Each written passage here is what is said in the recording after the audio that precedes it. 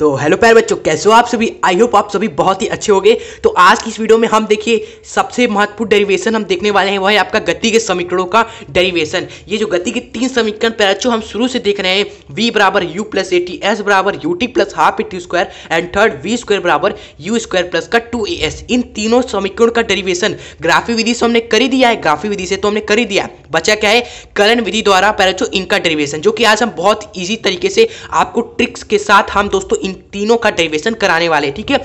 पूरे फिजिक्स के तो हमने आपको बताया था कि आठ सबसे महत्वपूर्ण डेरिवेशन ठीक है? और उन डेरिवेशन से पहले जो बाहर एक भी डेरिवेशन आपके पेपर में आएगा ही नहीं, जो भी आएगा उन्हीं में से आएगा। और सारे महत्वपूर्ण डेरिवेशन की प्लेलिस्ट भी हमने बनाकर आपको नीचे डिस्क्रिप्शन बॉक्स में लिंक दे दिया है। जो भी आपका छूटा डेरिवेशन वहाँ से आप कर लीजिएगा, ठीक है?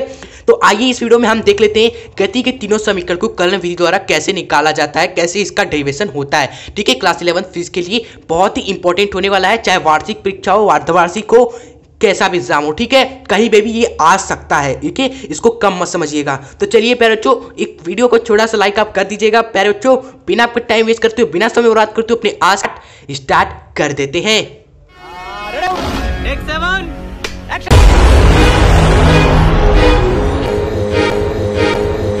तो पैर जो चलिए शुरू करते हैं और ये क्या लिखा है सर? बेसिक्स ऑफ़ कलन ये क्या है? देखो पैरचो जो कलन है कलन हमारा दोस्तों दो तरीके का होता है। एक होता है पैरचो आपका आपका अवकलन, और एक होता है समाकलन, जिसको आप डिटेल में तो मैथ में पढ़ोगे। डिटेल में आप मैथ्स में पढ़ोगे। फिजिक्स में पैरे बच्चों यहाँ पर हमें बेसिक चीज़ें इनके बारे में पता होनी चाहिए। आप ज़रूर एक बार इनके बारे में बेसिक चीज़ें पढ़ लीजिएगा, ठीक है? वैसे गति के तीनों समीकरण, जो तीनों के तीनों समीकरण है पर अच्छो वो हम किस विधि द्वारा निकालेंगे? समाकलन का यूज़ करके। समाकलन का यूज़ करेंगे पैचो और हम तीनों समीकरण को डेरिवेट करेंगे, ठीक है? इसलिए यहाँ पर इसको बोला गया है, कलन विधि द्वारा गति के समीकरण या फिर समाकलन विधि द्वारा गति के समीकरण निगमत करिए।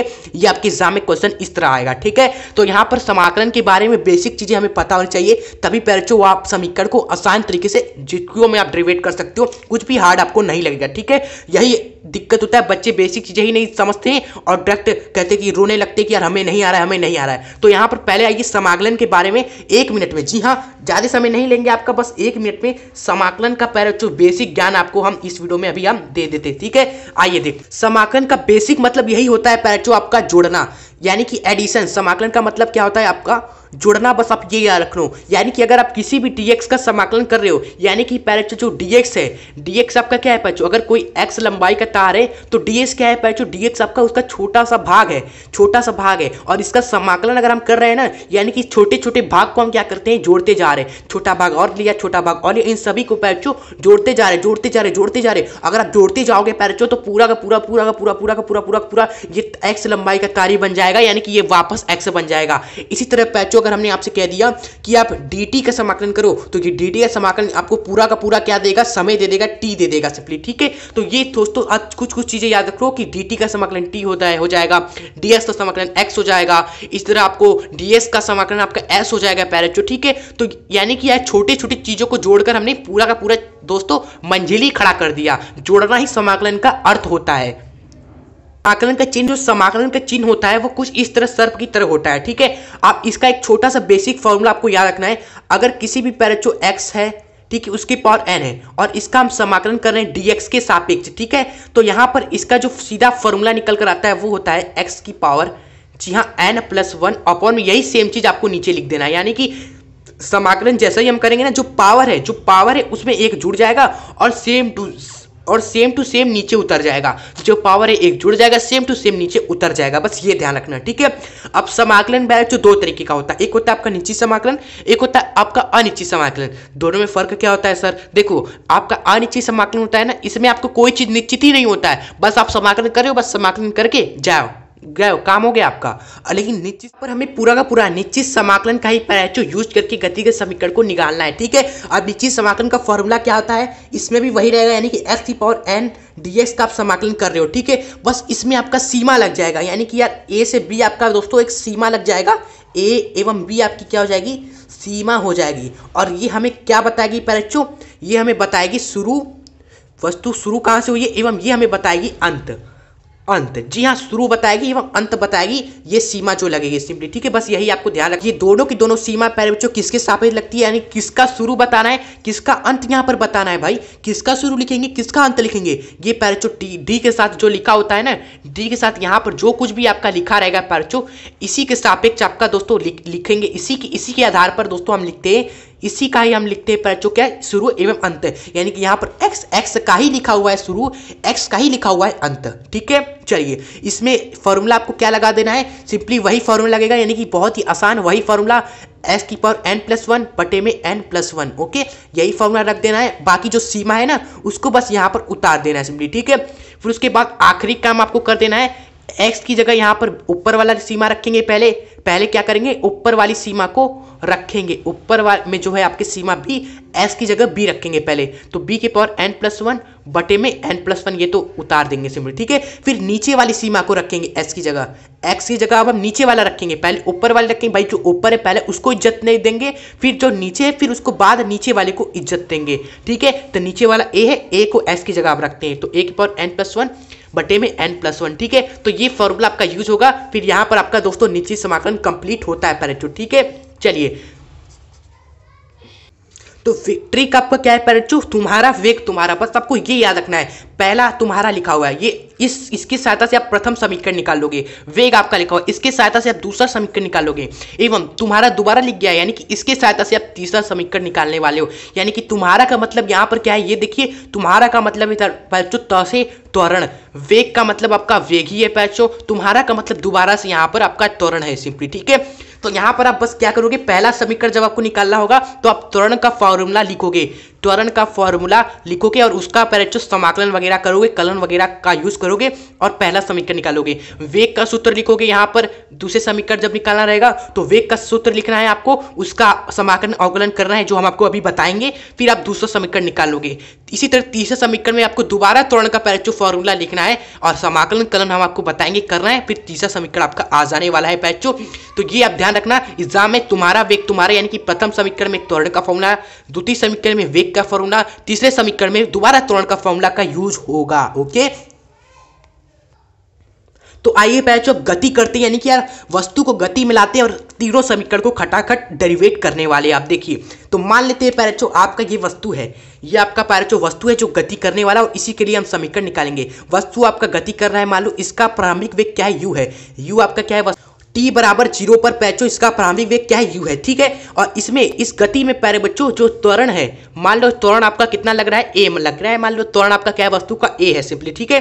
अब वस्तु में वस्तु का कोई विस्थापन है? नहीं है सर स्टार्टिंग में तो रुका हुआ है, यानी कि स्टार्टिंग में पैचो स्टार्टिंग पैरचो विस्थापन भी ज़ीरो है, एवं समय भी ज़ीरो है, ठीक है? और त्वरण आपका वस्तु का ए है पैरचो मान लिया। सिंपली अब आइए कुछ आगे बढ़ते, समय को बढ़ाते। मान लेते समय, जब टी ये बराबर आपका टी हो गया, जब टी बराबर टी हो गया पैचो तो वस्तु कुछ आगे आई। मान लो वस्तु यहाँ पर पहुँच गई पैचो कितना विस्थापन तय कर लिया? मान लो कि एस विस्थापन, दोस्तों, इसने वस्तु ने तय कर लिया, यानी कि विस्थापन इसका मान लो अब एस हो गया। अब पहले ज़ीरो था, लेकिन अब एस हो गया लास्ट में, और वस्तु का वेग आपका क्या हो जाएगा?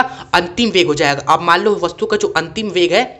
वो आपका क्या है? पैरचो वी है ठीक है? तो इस तरह एग्ज़ाम में आपको लिख देना है पांविक वेग वस्तु का यू लिखेंगे एस बराबर ज़ीरो था टी बराबर ज़ीरो था त्वरण ए था टी बराबर टी पर वस्तु का विस्थापन एस हो गया एवं अंतिम वेग उसका वी हो गया ठीक है? तो एग्ज़ाम में इतना ही लिखना है। उसके बाद आप सीधे कर, कर लिखोगे यहाँ पर प्रथम समीकरण जो आपका गति का पहला समीकरण है उसको अब हम डेरिवेट करने जा रहे हैं ओके चलिए तो प्रथम समीकरण किस फॉर्मूले से निकालेंगे पैचो? जी हाँ तुम्हारा वेग, तुम्हारा तुम्हारा यानी कि त्वरण के सूत्र से। और जो त्वरण का फॉर्मूला होता है ए ए बराबर क्या होता है? डीवी बाई डी टी होता है ओके ये फॉर्मूला होता है पैचो, त्वरण का।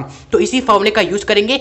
डी को इधर पहले गुड़ा करते हैं तो डी टी इधर हुआ तो क्या हो गया? डी ए डी टी बना, बराबर का डी वी ओके फिर यहाँ पर पैचो, हम क्या करेंगे? निश्चित समाकलन करेंगे, निश्चित समाकलन करेंगे। बस इसी का ही यूज़ करना है हर जगह हर जगह निश्चित समाकलन समाकलन निश्चित समाकलन आपको करना है टिम्पली ठीक है? चलिए तो निश्चित समाकलन में हम क्या करेंगे? पहले तो चिन्ह लगाएँगे। जो चिन्ह होता है, ऐसे वाला, बराबर में ऐसे वाला चिन्ह लगाएँगे और जो चीज़ है यहाँ पर ए डी टी है तो ए डी टी लिखेंगे, यहाँ पर डी वी है तो यहाँ डी वी लिखेंगे। अब हम क्या करेंगे? सीमा लगाएँगे, क्योंकि भाई निश्चित समाकलन है, सीमा भी लगाना पड़ेगा। सीमा हम किसके आधार पर लगाएँगे? इस डी वाले के साथ जो गुड़ा में है। यहाँ पर डी वाले के साथ जो जो गुड़ा में है तो डी वाले के साथ क्या है? पहले तो टी है। डी वाले के साथ यहाँ पर टी है तो यहाँ पर टी का आपको लिखना है, कहाँ से कहाँ तक आपका समय गया है, वो आप यहाँ पर यहाँ पर लिखेंगे सिंपली ठीक है?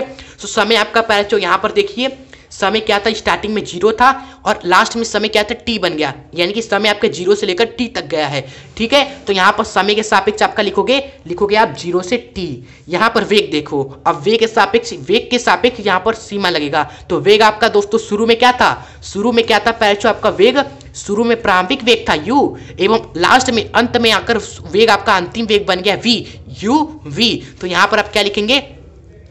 यू एवं यहाँ पर आप लिखोगे वी ओके बस, ये आपने सीमा लगा दिया, बस समाकलन आपको कर देना है, आपका पहला समीकरण तैयार हो जाएगा टिम्बरी ठीक है? चलिए इतना तो आपको पता है, त्वरण आपका क्या है? एक समान है, यहाँ पर लिख देते हैं, एक समान है। त्वरण आपका पूरी गति में एक समान रहता है। तो यहाँ पर जो चीज़ एक समान है, जो चीज़ आपका कांस्टेंट है पैरेक्चो वो तो आपका बाहर निकल जाता है समाकलन से, ठीक है? तो ये आपका ए तो बाहर आ गया और ज़ीरो से टी समाकलन लगा डी टी बराबर का यहाँ पर डीवी का समाकलन है यू से वी आप पैरेक्चो आइए समाकलन करते हैं। डी टी का समाकलन क्या बन जाएगा आपका? टी बन जाएगा। क्या बन जाएगा? आपका टी बन जाएगा और जो लिमिट है, ज़ीरो से टी ज़ीरो से टी यहाँ लगा दिया, ए तो आपका गुड़ा में है। बराबर में यहाँ से इसका समाकलन करेंगे तो डीवी का आपका वी बन जाएगा, कोई फॉर्मूला नहीं लगाना है। यू से वी आपका बन जाएगा, यहाँ पर लिमिट लग गया सिंपली ठीक है? ध्यान दे।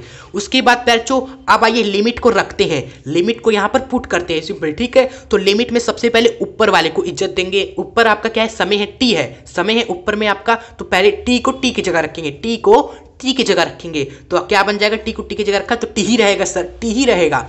आप देखो नीचे वाले को इज़्ज़त देते हैं। नीचे आपका क्या है? ज़ीरो है। यानी कि टी की जगह ज़ीरो रखेंगे। टी की जगह ज़ीरो रखेंगे। टी की जगह ज़ीरो रखा तो ज़ीरो रह गया। ओके?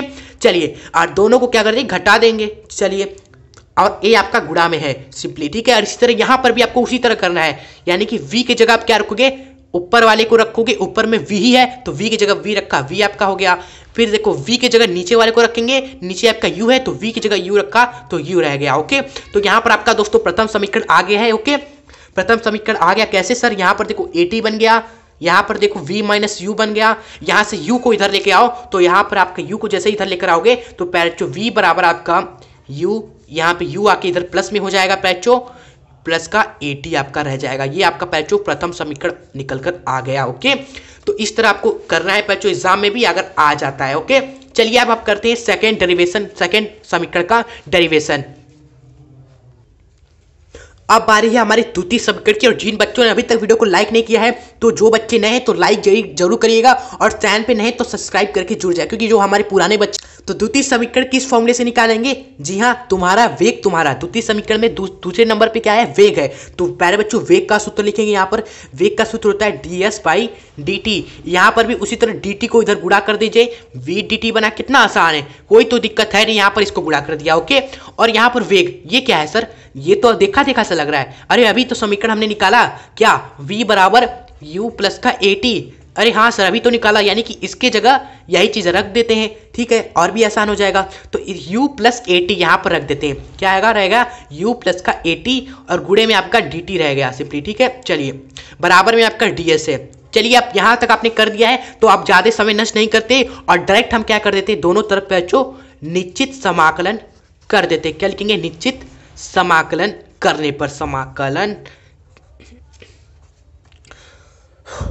तो जो वही करेंगे समाकलन का चिन्ह लगाएँगे u प्लस का ए टी एवं डी आपका गुड़ा में है ही, बराबर में समाकलन का चिन्ह लगाएँगे आपका डीएस, ओके? अब लिमिट लिखते हैं, लिमिट को लिखते हैं। लिमिट किसके सापेक्ष लिखेंगे पैचो? इस डी के साथ जो गुड़ा में है, यहाँ पर क्या है? समय तो समय आपका ज़ीरो से टी जा रहा है, ये तो हमने शुरू में ही आपको दिखाया। एस, विस्थापन, यहाँ पर क्या है? विस्थापन। शुरू में विस्थापन कितना है? अंत में विस्थापन कितना है? ये देखिए। देखिए, हमने गति करते थे, वस्तु तो लिखा था हमने यहाँ पर कि वस्तु का जो शुरू में विस्थापन था ज़ीरो था, लेकिन अंत में जाकर विस्थापन उसने एस तय कर लिया, यानी कि लास्ट में आपका विस्थापन एस है। ये भी देखो, ज़ीरो से एस तक जा रहा है। टी भी ज़ीरो से एस तक। तो यहाँ पर आप लिख देना ज़ीरो से एस तक, ठीक है? अब थोड़ा बच्चों को लगेगा, सर, ये क्या है? सर, यहाँ पर u प्लस ए टी यहाँ पर तो डी एस है तो इसको समझ में आ रहा है तो डी एस का तो हम कर लेंगे, सर, ऐसा आएगा। लेकिन इसका हम कैसे करें? इसका हम कैसे करें? तो घबराना नहीं है पैचो आपको दिखने में थोड़ा डर लग रहा है तो आप इसको तोड़ दो। इसको आप क्या कर दो पैचो तोड़ दो। कैसे तोड़ेंगे सर? dt को इसके साथ गुड़ा कर दो और dt को इसके साथ भी गुड़ा में कर दो। तो भाई पहले यू है यू के साथ dt को लिखो। तो यू है इसके साथ dt को अलग से लिखो। प्लस में अलग अलग हमने तोड़ दिया। अब देखो क्या है? एटी है। एटी है। तो एटी के साथ आपका एटी के साथ आपका dt आएगा। और जो आपका सी, सी, सीमा है उसको उतारो। ज़ीरो से टी ज़ीरो से टी पैरोचो ठीक है? चलिए बाकी बराबर में इसी चीज़ को उतारो भाई। डी एस ज़ीरो से एस तक ओके चलिए, आइए आगे करते तो यही यू आपका, जो त्वरण है आपका, ये दोनों चीज़ें बाहर निकाल दो। भाई, इन दोनों चीज़ें आपकी नियत है कांस्टेंट है, इन सभी चीज़ों को बाहर निकाल देते हैं। यू आपका बाहर आ गया ज़ीरो से टी डी टी ए आपका यहाँ बाहर आ गया ज़ीरो से t t d t okay? और समय आपका बदल रहा है। क्यों भाई? देखो यहाँ पर समय है यहाँ पर भी टी है यहाँ पर भी टी यानी कि यार कहीं ना कहीं हमें समय को ही टी को ही जोड़ना है भाई। ए तो हमारा बाहर निकल गया। यहाँ पर टी था तो यहाँ पर कहीं टी दिख रहा है। यहाँ पर आपको कहीं टी दिख रहा है नहीं दिख रहा है। तो यू को बाहर निकालो। यहाँ पर टी दिख रहा है तो, तो इसको हमने रख लिया अंदर। बाकी चीज़ों को बाहर निकाल दिया ध्यान दे ठीक है? ऐसे ऐसे चीज़ें हैं जो कि आपको ध्यान रखनी है परीक्षा में। ज़ीरो से एस डी एस ओके अब आइए समाकलन का सूत्र लगाते हैं पहले जो ठीक है? चलिए तो यू आपका बाहर रहा, यहाँ पर डी टी का समाकलन आपका टी होता है, सीमा सीमा को लगा देते ज़ीरो से टी प्लस में यहाँ पर ए टी टी की पावर क्या है? यहाँ पर एक है अब देखो डी टी को आप टी नहीं लिखोगे, यहाँ पर पैचो फॉर्मूला लगेगा, जो फॉर्मूला आपका होता है पैचो, घाते में जो आपका होता है ना, अगर x की पावर एन ए dx का समाकलन करते हैं तो क्या होता है? घात में एक जोड़ दो, घात में एक जोड़ दो और सेम टू सेम नीचे उतार दो वन प्लस वन ओके बाकी सीमा तो है ज़ीरो से टी इसको उतार देना है। बराबर में ds का हो जाएगा s आपका, ज़ीरो से s आपको लिमिट लगा देना ओके चलिए, उसके बाद वही करेंगे, ऊपर वाले को इज़्ज़त देंगे, फिर नीचे वाले को इज़्ज़त देंगे, ठीक है? आइए करते हैं, यहाँ पर यू लिखेंगे, ऊपर वाले में क्या टी है तो टी की जगह टी रखेंगे तो टी ही रहेगा, फिर नीचे वाले को रखेंगे ज़ीरो तो ज़ीरो हो जाएगा प्लस में ए आप देखो, यहाँ पर टी की जगह टी रखो, ऊपर वाले को पहले रखो तो टी की जगह टी ही रहेगा आपका तो वन प्लस वन बटे में वन प्लस वन टू रहेगा। फिर माइनस में टी की जगह ज़ीरो रखो, भाई टी की जगह ज़ीरो रखोगे तो भाई सब ज़ीरो हो जाएगा। बराबर में आपका एस एस की जगह पहले एस रखो, फिर एस की जगह ज़ीरो रखो ओके चलिए तो ये आपका हो गया है पैरचो आइए आगे करते फिर इसका भी डेरिवेशन हो गया आपका। यहाँ पर यू बन गया प्लस में पैरचो यहाँ पर देखो ए टी ए गुड़ा में है, यहाँ पर टी के पावर दो बन जाएगा। टी का पावर दो और यहाँ पर बटे में दो है तो बटे में दो लिख दिया बराबर में आपका एस दोस्तों, ये आपका हो गया। पहले बच्चों सेकेंड इक्वेशन का डेरिवेशन कंप्लीट ओके तो इस तरह आपको करना है सिंपली ठीक है? तो ज़्यादा कोई हार्ड नहीं है पैचो बस हमने क्या किया? हमने क्या किया? भाई, यहाँ पर वी हमको देखा देखा सा लग रहा था। यहाँ पर वी हमको देखा देखा सा लग रहा था। तो वी की जगह ये चीज़ें रख दी। हमको डर लगने लगा कि यार इन दोनों चीज़ों को कैसे एक साथ हैंडल करें तो इन दोनों को हमने अलग अलग तोड़ दिया। फिर लिमिट तो हमने वही लगा दी, जो हमारा था दोस्तों एस की सापेक्ष, यहाँ पर टी के सापेक्ष, यहाँ पर भी टी के सापेक्ष, ठीक है? फिर हमने दोस्तों, जो हमारा फालतू चीज़ें था, जैसे यू था हमारा फालतू, भाई इसका कोई संबंध है टी से? नहीं संबंध है तो इसको बाहर निकाला।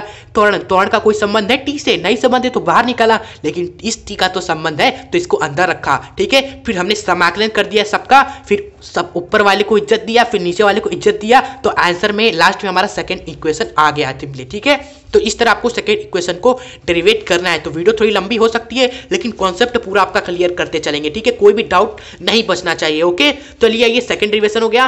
अब आइए थर्ड इक्वेशन तीसरा समीकरण जो है आपका, उसको भी कंप्लीट कर देते हैं। तो पहले बच्चों, आइए थर्ड इक्वेशन को डेरिवेट करते हैं। और हमने ट्रिक में आपको बताया था, तुम्हारा वेग तुम्हारा यानी कि दोबारा हम दोस्तों त्वरण का सूत्र लिखेंगे। त्वरण आपका होता है d v by d t okay और यहाँ पर एक छोटा सा आपका ट्विस्ट होगा। यहाँ और इस ट्विस्ट को आपको याद रखना है क्या ट्विस्ट हम करते हैं, पैचो? बहुत ही ज़्यादा इंपॉर्टेंट है। काफ़ी बच्चे दोस्तों छोड़ देते हैं। लेकिन अगर आपने कर दिया तो भाई ऐसे ही लोग तो टॉपर बनते हैं, जो हर एक चीज़ को समझते हैं, ठीक है? चलिए तो ट्विस्ट क्या देना है? और डीएस का आपको भाग भी लगा देना है। क्या करना है आपको? डीएस का डीएस का पैरोचो ऊपर भी ऊपर व पैरोचो नीचे। ऊपर व नीचे हम क्या करेंगे? गुड़ा करेंगे, ठीक है? ऊपर नीचे गुड़ा करेंगे सिंपली ठीक है? किसका? डीएस का। चलिए तो क्या ट्विस्ट होगा? यहाँ पर आपको ध्यान देना है। यहाँ पर त्वण बराबर हो जाएगा आपका डीवी डीवी के नीचे आपको इस डीएस को लाना है। इसको बस इंटरचेंज कर देना है। इन दोनों को इंटरचेंज जैसा ही आप करोगे तो आपको ट्विस्ट मालूम चल जाएगा। आइए देखते हैं। यहाँ पर पैचो डीएस के नीचे ये डीटी चला गया। इंटरचेंज हमने कर दिया। अब आपको ट्विस्ट दिखा।